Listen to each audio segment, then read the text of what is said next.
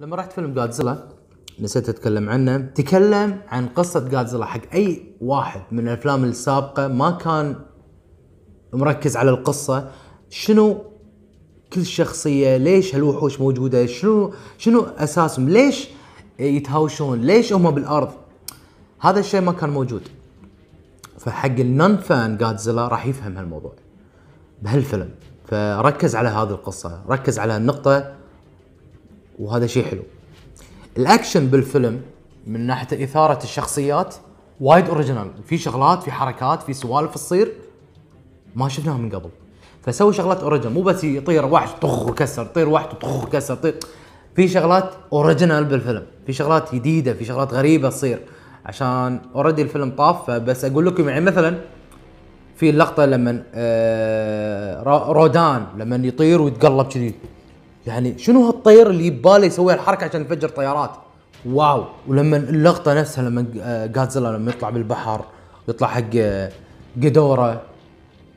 وفي شغلات وايدة وايدة حلوة.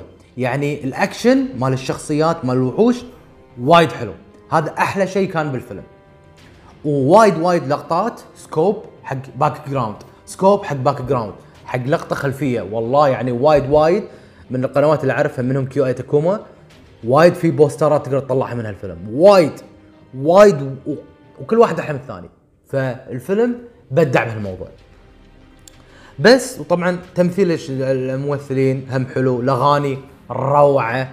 زين ال CG وايد قوي. بس المشاكل اللي حاشتني إنه وايد لك وايد انه موضوع لأن هذا البطل لازم كلش يطيح يمه. مباني وعماير ما شنو.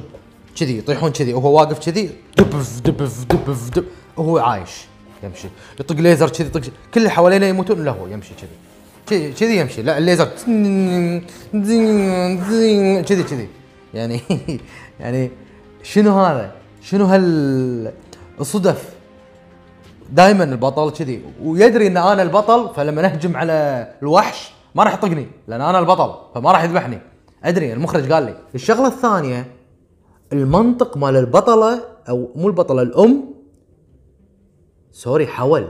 أنا بطلع كل الوحوش علشان تعدى الأرض ويحسون على نفسهم وترجع الأرض مثل ما كانت من غير ديستركشن يعني كأني أنا قاعد أقول تكرمون خليب أسود وتكرمون كلاب وما شنو؟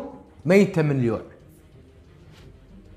وهدها هداد بالكويت. ليش؟ عشان الناس تصفط عدل. مو انت ذبحت نص الناس.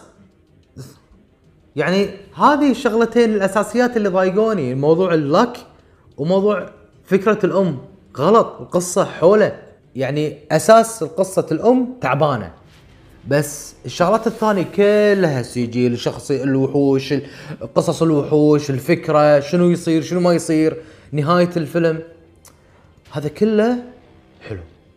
وعطاه ال point. من شي أنا أعطيته ثمانية. الفيلم جازيلا صراحة وايد عجبني. ويعجب أكثر ال fan. من كذي أنا عجبني وايد. اللي non fan ممكن يعطيه سبعة. زين؟ لأنه يمكن بالنسبة له over computer أو شيء بس هو هذا الفيلم يعني مو أول مرة يسوون أفلام fan. نفس Transformer ولا آه، ترمي آه، ولا تي آه، تي Teenage Mutant Ninja Turtles اللي هو TMNT اللي هو سلاحف نينجا زين؟ هذيلا حق fan بس ما سووهم صح.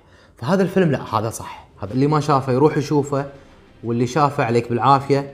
بس أنا عجبني الصراحة أحلى من Kong Skull Island تعبان جدا. بالنسبة لي عادي مو تعبان جدا ولكن عادي جدا.